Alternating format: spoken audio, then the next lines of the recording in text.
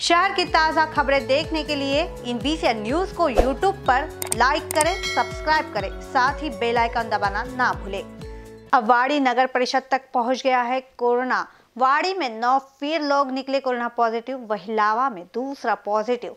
वाड़ी नगर परिषद के अग्निशमन कर्मचारी भी निकला, कोरोना पॉजिटिव मरीज़। वाड़ी में कोरोना पॉजिटिव की संख्या दिन ब दिन बढ़ रही है। सोमवार को धम्मकीर्ति नगर में एक तीस वर्षीय एसआरपी कर्मी युवक की कोरोना रिपोर्ट पॉजिटिव आई थी। परिवार के नौ लोगों को क्वारंटाइन किया गया था, जिसमें से शनिवार को नौ लोग पॉजिटिव आने से वाड़ी में खलबली मची है। वही लावा के महादेव नगर के एस आर पी सिपाही पॉजिटिव आया था, अब उसकी तीस वर्षीय बहन भी पॉजिटिव आने से अब लावा में पॉजिटिव की संख्या दो ही है। वही वाड़ी में कोरोना पॉजिटिव की संख्या चौदह हुई।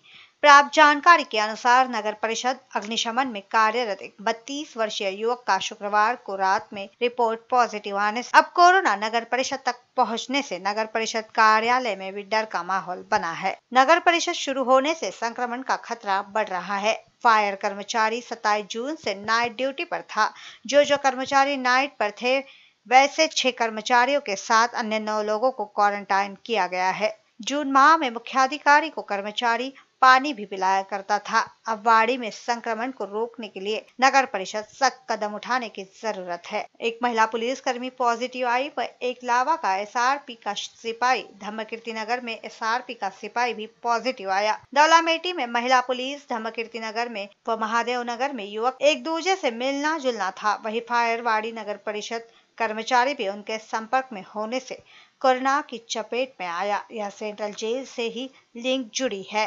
धम्मकीर्ति नगर के एसआरपी कर्मी युवक पॉजिटिव आने के बाद परिवार के नौ लोगों को क्वारंटाइन किया गया, जिसमें शुक्रवार को रात में तीन भाई, माता, दो बहन व उनके दो बच्चे पॉजिटिव आए।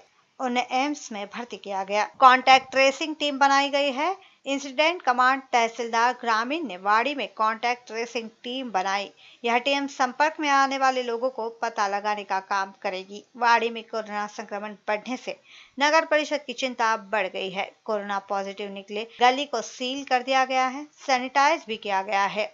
पॉजिटिव की संख्या बढ़ने के बाद भी वाड़ी के मार्केट में भीड़ दिखाई देती है। इन बीसीएन न्यूज़ के लिए वाड़ी से सुनील शेट्टी के साथ अभिषेक पांसे की रिपोर्ट।